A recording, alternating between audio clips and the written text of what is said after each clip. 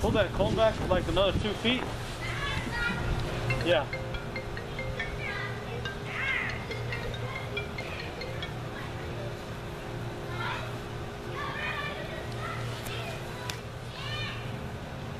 Make sure you move your hands better.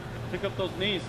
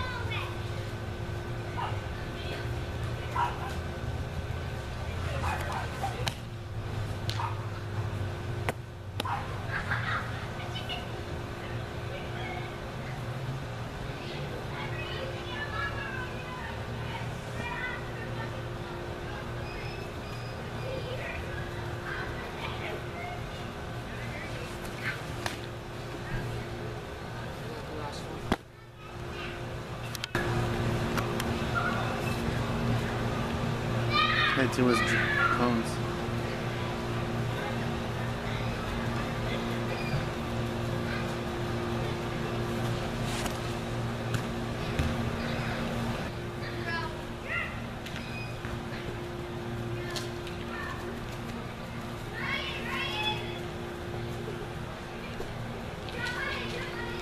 Hold on, hold on.